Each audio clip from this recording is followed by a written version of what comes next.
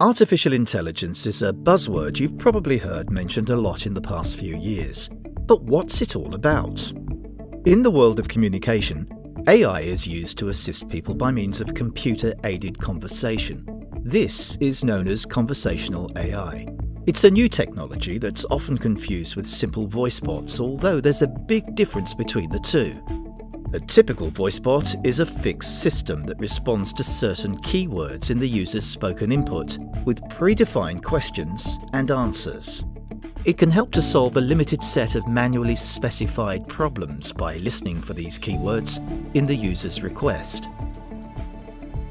If the request doesn't contain any of the keywords, the voice bot is overwhelmed and quite literally speechless, as it doesn't have a matching answer in its database.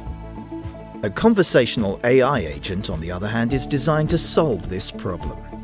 By using state of the art technology, it is able to dynamically adjust its responses. This makes for a more natural conversation, much like talking to a human.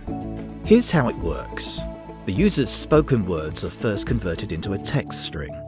The AI then analyzes the text and uses its trained knowledge to detect clues to the intent behind the question. Since a conversational AI is always learning, it can handle a wide range of linguistic diversity.